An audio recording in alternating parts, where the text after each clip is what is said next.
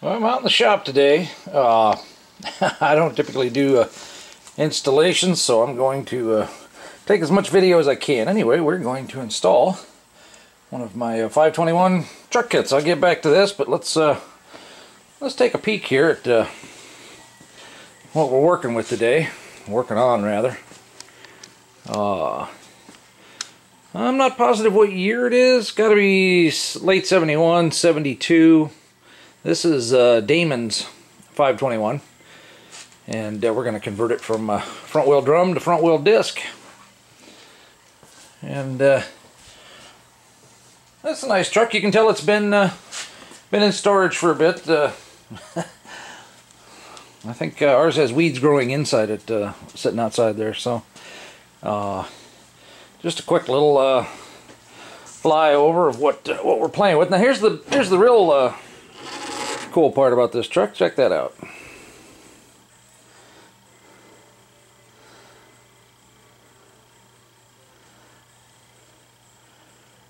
And that's the new uh, micro combustion diesel motor from what he said. No, I'm just kidding, it's an electric motor. anyway, uh, that's not much uh, here nor there, but uh, I just thought you'd like to take a peek since we're going to be uh, shooting a lot of video on this truck today. Uh, while we well, I don't know how much video is actually going to make it because it's going to be uh, to the final cut because uh, it's going to be a long ass video or a bunch of them. Uh, anyway, I'm not sure uh, it qualifies as an unboxing because I put it together. So uh, the last kits that are going out, they get a packing list with everything that's in it. it shows the difference between the 620 and the 325, 25, 21.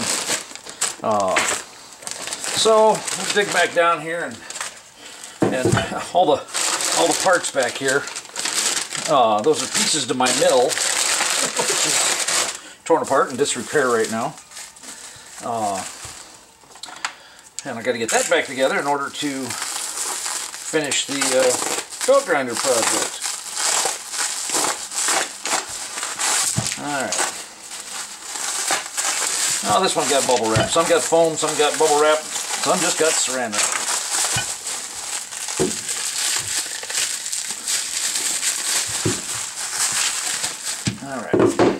bracket.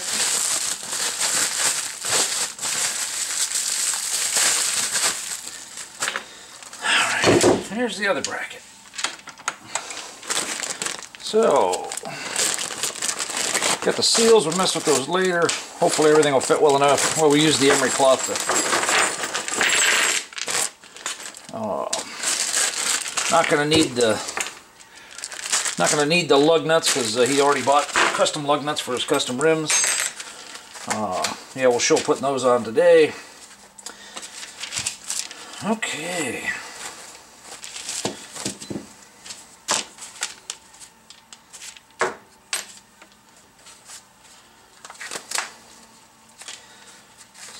So after I get this pulled out and laid out just a little bit, I'm going to uh, get the truck jacked up and start ripping stuff apart. There's my Harbor Freight jack. I don't know if you can see that with the the glare there. Uh, it's the uh, the high lift and the rapid pump, and uh, I've been real pleased with this jack. Uh, it goes down nice and low, gets under any of the lowered vehicles I've had in the shop, and uh, I love the uh, the foot pedal on the on the end here. Um, so let's we can't get this puppy jacked up. Oh, I'm good. Put the jack stands out in the shed. Because I didn't plan on doing any work in the shop on cars. Alright. Yeah, so I've got this up pretty high in the air. Uh, that high lift jack, mainly because, you know, I don't like being down close to the ground. I'm short enough, I'm always close to the ground, so... Uh, anyway, I just thought I'd show real quick. Uh, that's basically where I usually put the the jack stand, okay? Part of the reason is, is I like the fact that there's that flange there.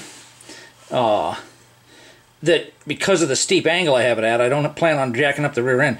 If this jack stand wanted to slide forward, the uh, tabs on the top corners there would catch those ears, keep it from sliding anymore. It's not going to anyway, but uh, uh, got them both set up. If you have jack stands like this, put the handles on the uh, outside like that because then uh, it's real easy to come under here with your toe. Instead of climbing under the car, you can come under the toe and hook that and pull it back out. So, uh, I think that's the uh, boring fact for the day. So I'll put that back in place. For anybody who's curious, there's the uh, underpinnings with the uh, rubber mat. And, uh, you know, the rest of it is uh, stock 591. Alright. This is the uh, Ryobi 18 volt uh, with a fresh uh, lithium ion battery in it. I don't know how, what he had these torqued to. Uh,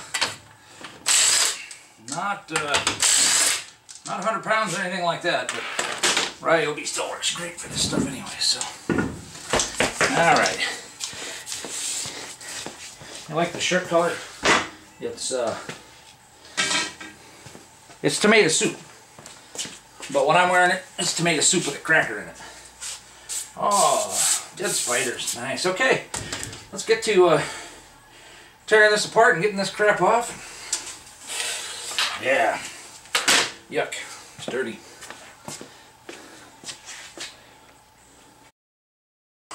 Let's go back in here and do it the preferred way.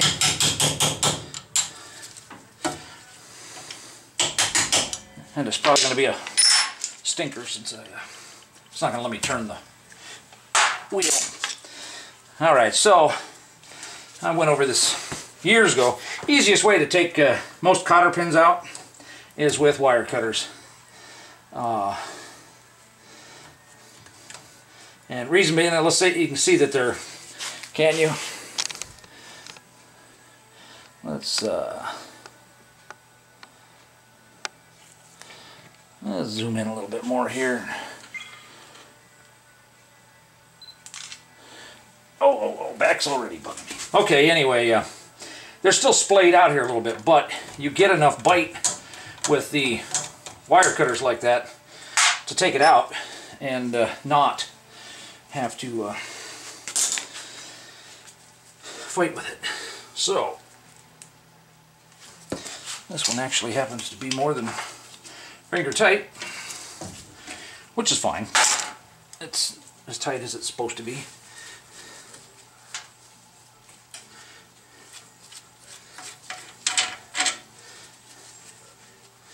So, I'm pretty sure this nut's got to go back on. I don't normally, uh, it's been a while since I did one of these, and, uh,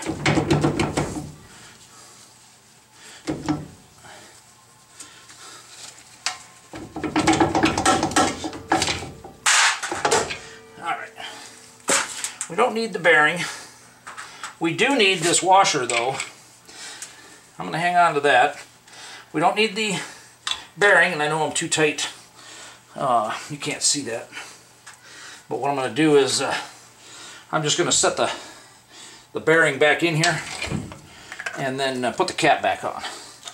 Because the cap from the other hub will uh, go back on. So Greasy parts. God, this is why I... Big reason why I quit working on cars.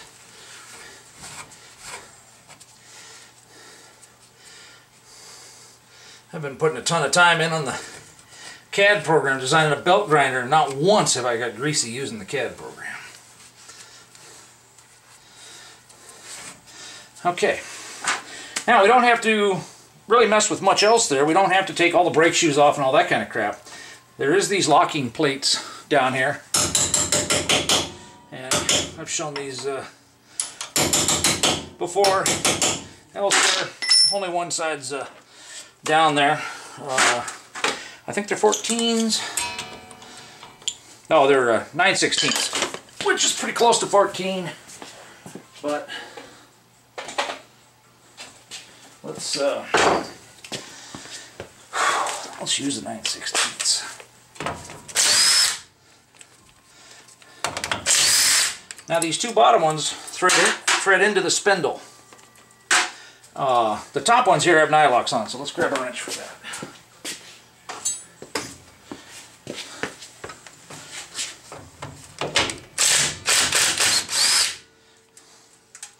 And we won't need either of uh, any of these nuts and bolts because new ones come uh, new ones come in the kit.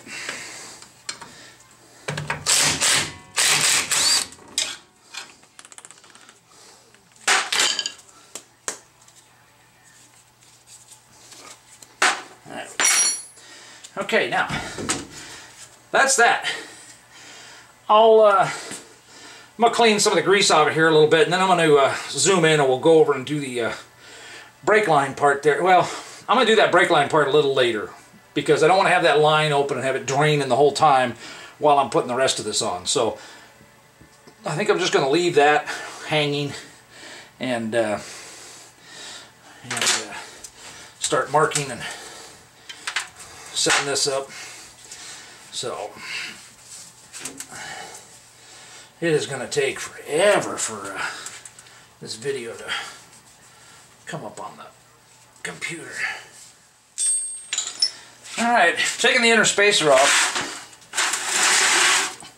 Pipe wrench is definitely the uh, easiest way to go. You can put chisels behind it and all that kind of stuff. But uh,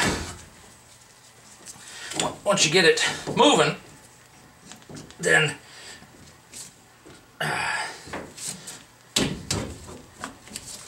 uh, pull out a little bit, or you can also try to stick a pry bar behind it.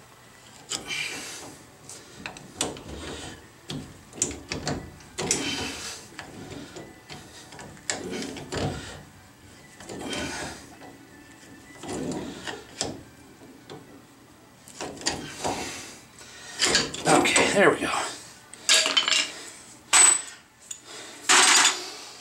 Mmm. Wow. Somebody burned some grease in there before. That stinks. Okay, I'm not going to worry too much about cleaning this up pretty before I do the cut because uh, it'll uh, make a mess doing the cut. So, I still have my bolt there. I'm just going to go ahead and use these. They're the same dimension and thread and everything like that is uh, what comes in the kit. They're just not quite as long as what comes in the kit. And looking at these, it's like, sheesh, might as well just use these, heck.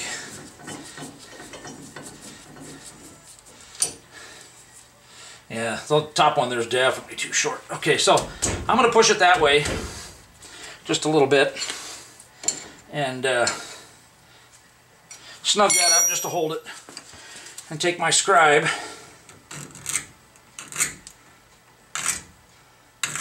and get a nice heavy line in there. Now, just to make sure, since I don't know how well it's going to show up on uh, the uh, video, whatever, we'll take a silver Sharpie there and put a line down too. So now we can uh, take them both off and decide which of 10 different ways we want to cut it.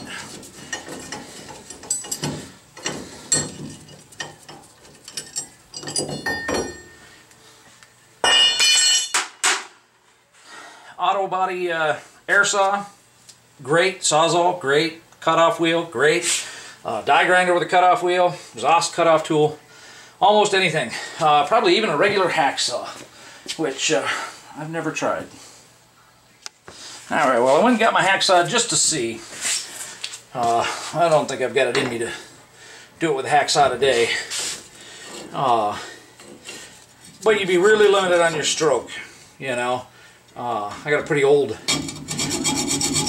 blade in here right now, so it's not going to cut very fast. But you're limited on your stroke, but you know, if hacksaw is what you had, then you can do it. If you're doing a disc brake upgrade, for Pete's sake, you should have more tools than just a hacksaw. You can also come at it up from underneath. A lot of hacksaws will give you a 90 degree option. You can you can take the like carriage bolt type thing out and turn it, and then I could have the saw over here and cut. Uh, but this one doesn't have that, and I would have to turn the saw around like this to do it, which which I could do, but you know, I'm not going to. I'm going to go get something with power. Alright, well, my Ryobi four and a half, they're like uh, 40 bucks maybe at uh, Home Depot. Love this thing, works awesome. They're a lot uh, quieter, better gearing, they don't rattle. You know, they rattle at the end there. Tons more on the Harbor Freight ones, although the Harbor Freight ones work fine for the $14 that they cost.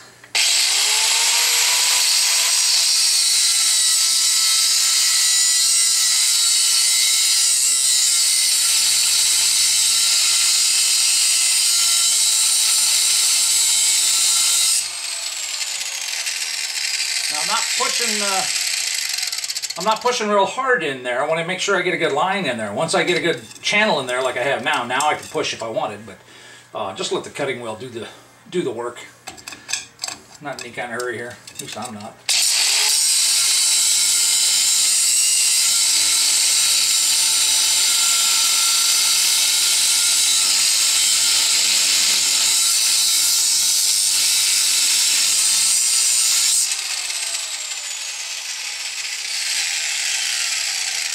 Probably a better idea not to have uh, grease-covered rags uh, on the ground in your where your sparks are going, but now you're gonna de deburr the edges with this. I, I've said this before. Very light touch. This this disc is not meant for side loading. Okay, it's meant to to cut straight. So I'm doing a very light touch.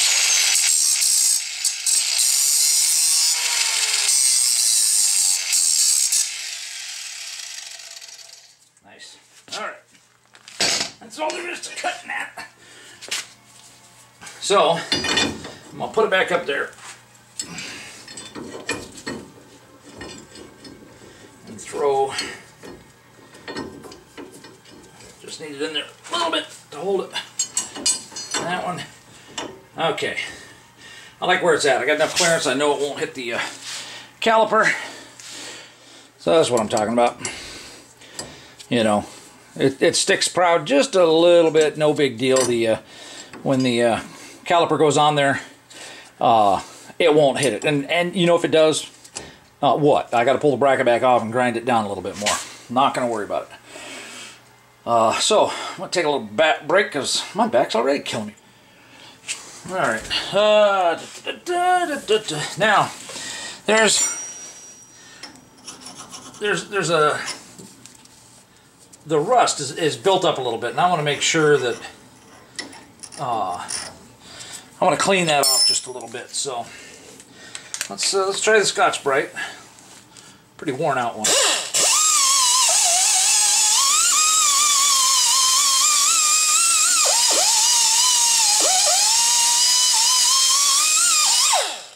But that does the trick. Let's also try a wire wheel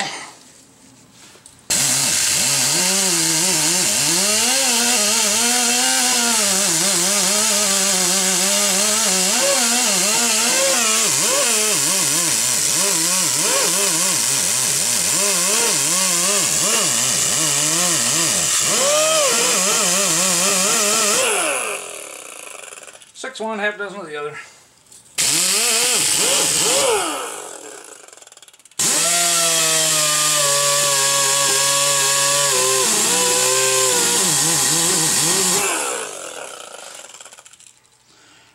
Hmm. Might be getting time to replace that one.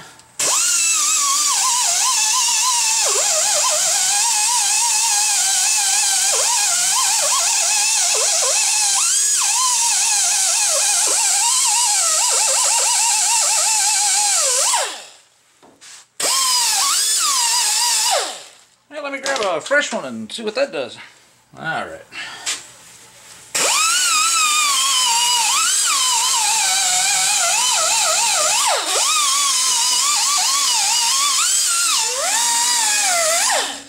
All right. So next up, I want to uh,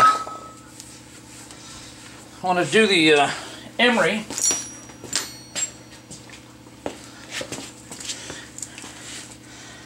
And test fit the uh, bearing adapters. So, Nice. Perfect. Okay. Set that aside. Okay, and every now and then this one will have a tendency to you're more likely to have some burrs out here because of the slot being there and that stuff. So, uh, so I don't need to try to resize it. Basically, just going to come in here with the emery and get some tooth. The Loctite doesn't have to have it, but uh, we'll, uh, we'll do it anyway. So.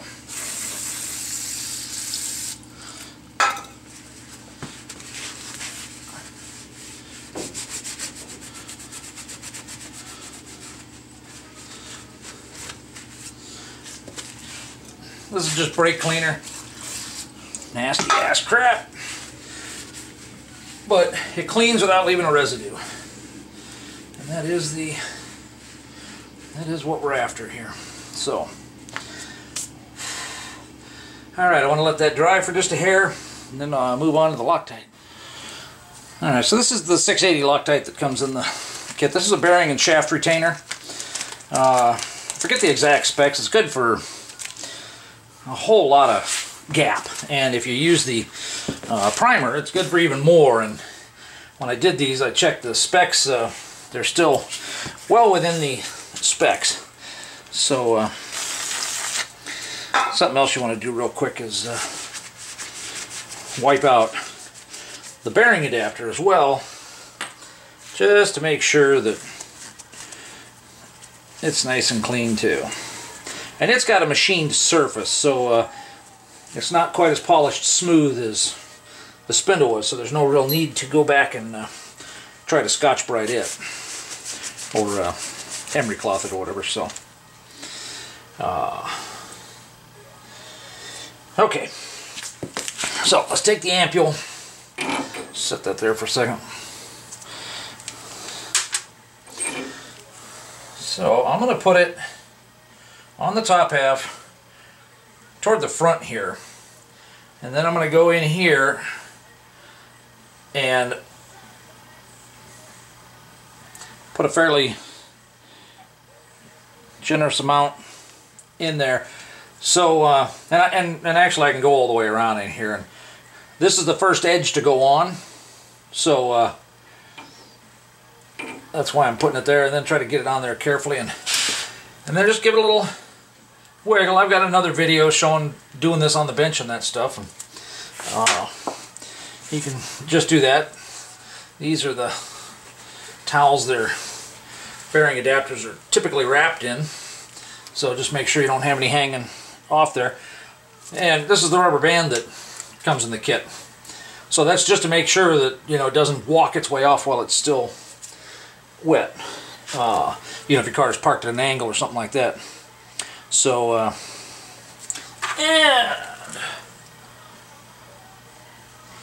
let's put some on there. Now, in this one, I don't want to put it all the way around because uh, it's real hard to uh, keep it from getting on the threads. So I'm putting it just on the bottom, and then I'm kind of dragging the the top until I get it on there, and then I'll I'll work it back and forth a little bit there and make sure that it's on there.